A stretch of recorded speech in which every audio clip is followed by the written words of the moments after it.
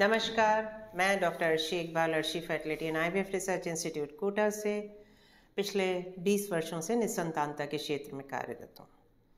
क्या क्या सर्विसेज़ उपलब्ध हैं? तो यहाँ पे हर वो सेवा जो निसंतान दंपत्ति को चाहिए जैसे IVF, IUI, ICSI donor services PGD, PGS, laser साधारण counselling infertile couple council routine induction सब कुछ यहाँ पे एक छत के नीचे अवेलेबल है।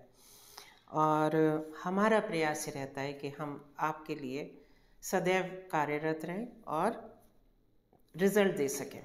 तो दोस्तों, आज की श्रृंखला में आज जो हम टॉपिक लेके आए हैं बहुत ज़रूरी है। बहुत लोगों के फ़ोन आते हैं और बहुत सारी चीज़ें इसके बारे में जानकारी चाहना चाहते हैं और है ना, आधी अधूरी जानकारी की वजह से कहीं ना कहीं समझ नहीं पाते कि क्या है। तो मैं कोशिश करूँगी कि आपको विस्तार में इसके बारे में समझाऊँ। तो हमारा टॉपिक है कृत्रिम गर्भधान यानी आईयूआई तो अक्सर लोग कंफ्यूज होते हैं कि आईयूआई या आईवीएफ क्या होता है? दोनों एक ही चीज़ होती हैं तो बिल्कुल भी नहीं।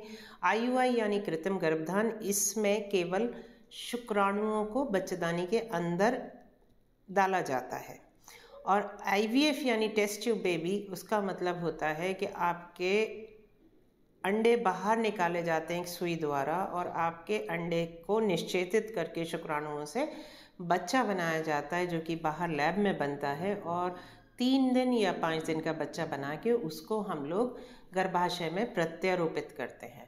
तो आईवीएफ में आपने बच्चा प्रत्यारोपित करा और आईयूआई में आपने केवल शुक्राणु डाले हैं। अब आईयूआई के कितने प्रकार होते हैं? आईयूआई दो प्रकार का होता है। एक होता है आईयूआई हस्बैंड और दूसरा होता है आईयूआई डोनर तो आईयूआई हस्बैंड कब इस्तेमाल होता है आई यू आई डोनर कब इस्तेमाल होता है आई यू आई किन मरीज़ों में ज़रूरत है, इसके बारे में हम डिटेल बात करते हैं। तो कोई भी मरीज़ ये कैसे समझे कि हमें आई यू आई कराना है कि आई वी एफ़ कराना है? कोई भी मरीज़ जो कि इनफर्टिलिटी ट्रीटमेंट में जा रहा है, उसका इंडक्शन हो चुका है चार से छः बार इंडक्शन का मतलब अंडे बनने की दवा दे चुके हैं डॉक्टर साहब। और उसके बाद भी बच्चा कंसीव नहीं हुआ था। अगला चरण होता है कृत्रिम गर्भधान यानी आईयूआई का। और आईयूआई में कितनी बार कर सकते हैं? तो आईयूआई जो कम से कम करने का आया है, वो तीन से चार बार। मैक्सिमम जो मैक्सिमम है, वो छः बार है। तो तीन से चार बार अगर हम करेंगे तो मरीज़ों का अक्सर सवाल होता है कि गारंटेड है? तो देखिए, इसकी गारंटी नहीं होती है और ये जो सफलता है, ये इस पर डिपेंड करती है कि आपने पेशेंट का चुनाव सही करा है। जो हाँ कारण हम डॉक्टर ने देखा है कि ये कारण की वजह से करा कर वो कारण सही है तो डेफिनेटली आईयूआई सक्सेसफुल होते हैं। ऐसा नहीं है कि आईयूआई सक्सेसफुल नहीं होते, परंतु इसकी जो सक्सेस रेट होती है, वो केवल 10 से 13 परसेंट है, अगर आप इसमें गोनाडोट्रोपिन या सुइयाँ लगाते हैं अंडे बनाने की तो परिणाम केवल 10 से 13 परसेंट है। तो यहाँ पे पेशेंट का वर्कअप और पेशेंट चुनना एक सबसे इंपॉर्टेंट चीज़ होती है। ऐसा नहीं कि हर मरीज़ का उठाया और आईयूआई कर दिए नहीं। तो हम अब बात करेंगे कि किन मरीज़ों में आई की आवश्यकता है। तो सबसे पहले उन पुरुषों में जहाँ पे शुक्राणु बहुत कम है, यानी कि ओलिगोस्पर्मिया। नॉर्मल काउंट होता है पंद्रह मिलियन या पंद्रह से ज़्यादा। चाल होना चाहिए चालीस परसेंट। तो जिन पुरुषों में काउंट पंद्रह मिलियन से कम है लगभग दस के आजू बाजू है वो पुरुष इसके लिए आ, सही हैं। दूसरा जहाँ पे चाल बहुत कम है वो पुरुष इस आईयूआई के लिए आईयूआई हस्बैंड के लिए सही हैं। उसके बाद ऐसी महिलाएँ जहाँ पे उनकी उम्र थोड़ी ज़्यादा है चार छः महीने वो इनफर्टिलिटी का ट्रीटमेंट ले चुकी हैं उसके बाद भी बच्चा नहीं लग रहा और उनमें अंडे कम है। तो जो जांचें हुई फर्टिलिटी प्रोफ़ाइल उसके बाद ये पता चलता है कि आप में अंडे कम है, आपका फर्टिलिटी ए एम एच कम है, आपका जो एंट्रल काउंट है वो कम है तो आप में भी आईयूआई करना जायज़ है। तो ऐसी महिला जहाँ अंडे कम हो, ऐसी महिला जहाँ उनकी थोड़ी उम्र ज़्यादा हो अराउंड थर्टी फाइव ऐसे पुरुष जहाँ पे शुक्राणु की मात्रा कम हो, तादाद कम हो, पंद्रह मिलियन से कम है समथिंग दस के अराउंड है। ऐसे पुरुष जहाँ पे चाल की कमी है, ऐसी महिला या दंपत्ति जहाँ पे निरंतर ट्रीटमेंट के बाद चार से छः महीने के ट्रीटमेंट के बाद भी वो कंसीव नहीं कर पाए। क्योंकि ऐसी बहुत सी महिलाएँ होती हैं जहाँ पे कुछ टॉक्सिन्स होते हैं जो गर्भाशय के मुख पे होते हैं सर्विक्स पे होते हैं और वहाँ पे वो शुक्राणुओं को अंदर जाने नहीं देते।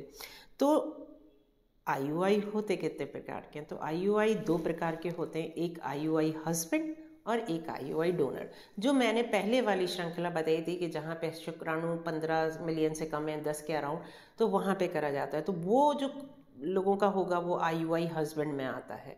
जहाँ पे शुक्राणु कम है, चाल कम है। और जहाँ पे पत्नी या कोई ऐसा फैक्टर है। अब एक होता है आई यू आई डोनर जहाँ पे जो डोनर सैंपल होता है वो किसी और पुरुष का होता है जो कि डोनर बैंक से आता है। डोनर बैंक यानी एआरटी बैंक जो होता है जो सरकार की मान्यता प्राप्त बैंक है वहाँ से पुरुष का सैंपल आता है और आजकल आ, कानून जो कहता है कि आपको सैंपल एआरटी बैंक से ही लेना होता है तो बहुत सी महिलाएँ पुरुष ये पूछते हैं कि इस इस व्यक्ति का एजुकेशनल स्टेटस क्या है इस व्यक्ति का धर्म क्या है तो ये सब चीज़ें नहीं पता होती। एआरटी बैंक से जो आता है वो केवल blood group hair colour Indian race का या फिर स्किन का कलर और ब्लड ग्रुप पता होता है। तो इस उस पर जब सैंपल आता है, आप उसी को यूज़ कर सकते हैं किसी भी आईयूआई डोनर में या आईवीएफ डोनर साइकिल में। तो जो डोनर होते हैं आई वो केवल उन लोगों में करा जाता है जहाँ पे शुक्राणु नील हैं। जिन पतियों में शुक्राणु नील है, वहाँ पे आई डोनर करा जाता है। तो इसकी भी जो सफलता है, वो केवल 10 से 13 परसेंट है। तो मैंने जो शुरू में बात बोली थी कि एक प्रॉपरली जुडिशियली ढूंढा हुआ मरीज़, एक जिसको वाकई इन चीज़ों की ज़रूरत है, एक अच्छे से वर्कडअप करा हुआ पेशेंट में इनमें काफ़ी लाभ होता है और ये काफ़ी सक्सेसफुल होते हैं। तो आईयूआई आपने करा तो ये आईयूआई होता कैसे है? बहुत सारे दंपति बोलेंगे कि आईयूआई कराना है हमें। तो इसके लिए मरीज़ मासिक के दूसरे या तीसरे दिन आता है और उसको कुछ ओविलोजेंस दी जाते हैं जो अंडे बनने की दवा होती हैं। फिर उसको ट्रैक करा जाता है अंडों को कि वो पर्याप्त बढ़ रहे हैं, नहीं बढ़ रहे और जब वो 18 से 20 एम के साइज़ पे आते हैं, तब वहाँ पे एक ट्रिगर लगाया जाता है। और उसके 36 घंटे के बाद आई यू आई करा जाता है, वो डी हो या हस्बैंड हो। अब एक सवाल और आता है कि क्या ये आई वाई हर मरीज़ में कर सकते हैं? तो इसका एक सबसे इंपॉर्टेंट जो चीज़ है, ये आई वाई उन्हीं महिलाओं में होगा जहाँ पे उनके ट्यूब पेटेंट हैं, यानी कि ट्यूब खुले हुए हैं।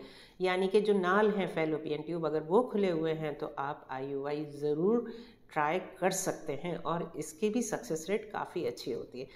अब एक और प्रमुख सवाल आता है महिलाओं का कि क्या आई के बाद हमें बिल्कुल बेड रेस्ट करना है या हमें बहुत एक सीडेंट्री लाइफ स्टाइल जीना है या आई के बाद हमें चलना फिरना नहीं है, अस्पताल में भर्ती रहना है तो बिल्कुल भी नहीं होता। ये मात्र अगर आई आई हस्बैंड है तो दो घंटे का प्रोसीजर होता है, डेढ़ घंटा सैंपल बनने में लगता है और इसके बाद तुरंत इसको डाला जाता है सैंपल प्रिपेयर होने के बाद। और इसमें कोई दर्द नहीं होता, एक छोटा सा कैथेटर होता है, उसके द्वारा मरीज़ बेहोश नहीं होता, सादा लेटा हुआ, इसमें कोई दर्द ही नहीं है और वो नीचे से गर्भाशय में डाल दिए जाते हैं। जो सैंपल बनाया जाता है, जो कि पॉइंट फाइव एम होता है, उसको गर्भाशय में छोड़ दिया जाता है और उसमें केवल वो जो सैंपल होता है, उसमें केवल वो शुक्राणु होते हैं जो कि कैपेसिटेटेड होते हैं, यानी उनमें ताकत आ चुकी होती है। जो दवाओं के साथ, वो मीडियाज़ के साथ जब वो चलाए जाते हैं तो उनमें बहुत ताकत आ जाती है और वो कैपेसिटेट हो जाते हैं। तो ऐसे शुक्राणु में चाल आ जाती है, रफ्तार आती है तो वो जो सैंपल होता है, पॉइंट फाइव एम होता है और उसमें केवल जीवित शुक्राणु होते हैं जो कि ऊपर से उठाए जाते हैं। तो अब आईयूआई के सैंपल बनाने का बहुत दो से तीन तरीके होते हैं। वो अकॉर्डिंग टू पेशेंट करा जाता है, वो डॉक्टर डिसाइड करता है। तो केवल शुक्राणुओं को डाला और उसके बाद उन शुक्राणुओं को ट्यूब में अपने आप जाना होता है। उनको स्वयं चाल, आपको पहले भी मैंने बता रखी है, शुक्राणु इस तरह से चलते हैं, पूछ होती है। तो वो स्वयं जाएँगे ट्यूब के अंदर एंटर होंगे, इसीलिए ट्यूब खुले होना बहुत ज़रूरी होता है। अगर ट्यूब खुले हैं तो अगर अंडे का मिलन शुक्राणु से होगा तो डेफिनेटली बच्चा बनेगा। और बच्चा अगर बन गया तो वो प्रत्यारोपित होगा तीन दिन बाद गर्भाशय में जाके। तो ये सारी चीज़ें पहले मैं और लेक्चर में भी बता चुकी हूँ। तो ये एक साधारण सी टेक्निक है जिसमें मात्र दो घंटे लगते हैं और एक पीरियड में ये तय होता है। और करने के बाद मात्र पाँच दस मिनट आपको आप लेटे रहते हैं, उसकी भी ज़रूरत नहीं होती और आप अपने दिनचर्या को वैसे की वैसी रख सकते हैं। कोई भारी काम, कोई काम करने का मना नहीं है। कोई घर में नहीं बैठना पड़ता, कुछ भी नहीं करना पड़ता, जैसे रोज़ की ज़िंदगी होती है वैसे ही होता है। और इसमें कुछ थोड़े से प्रोजेस्ट्रॉन का सपोर्ट रहता है एक आध गोली का केवल वही खाना पड़ती है तो बहुत ज़्यादा दवाएँ भी नहीं खाना पड़ती, बहुत ज़्यादा आराम भी नहीं करना पड़ता। और ये काफ़ी सक्सेसफुल तरीका है। अब बहुत सारे लोग बोलते हैं मेरा आईयूआई फेल हो गया। तो देखिए आईयूआई एक लो कॉस्ट कम कीमत का एक तरीका है जिससे बहुत सारे लोग कंसीव कर जाते हैं या गर्भ धारण कर जाते हैं। तो ये आ, किताब के हिसाब से तो तीन छः बार करना चाहिए पर मेरा जो अपना तजुर्बा है उसमें कम से कम तीन से चार बार तो करना चाहिए क्योंकि हो सकता है कि पहले प्रयास में आपको सफलता ना मिले दूसरे मिल जाए। तो ये एक साधारण सा, कम खर्चे का बहुत अच्छा तरीका है कि जो भी निसंतान दंपति हैं, उनका अगर डॉक्टर से जाके मिलें तो इसकी जो प्री रिक्विजिट होती है सबसे पहली वो केवल कि आपके अंडे बन रहे हों, आपके ट्यूब खुले हों और आप आई यू आई या आई यू डो, आई डोनर में से कुछ सिलेक्ट कर लें और इसमें बहुत ज़्यादा परेशानी नहीं होती है। तो अगर आपके कोई भी सवाल है तो नीचे लिख दीजिए और अगर आपको ये टॉपिक अच्छा लगा है तो प्लीज़ सब्सक्राइब करिएगा। आईयूआई एक बहुत इंपॉर्टेंट चीज़ है समझने के लिए। इसे कृत्रिम गर्भधान कहते हैं, इसको आईवीएफ से मत कन्फ्यूज़ करिए और मुझे उम्मीद है कि ये आपके लिए बहुत लाभदायक टॉपिक रहा होगा। आपको फिर भेंट होगी। नमस्कार।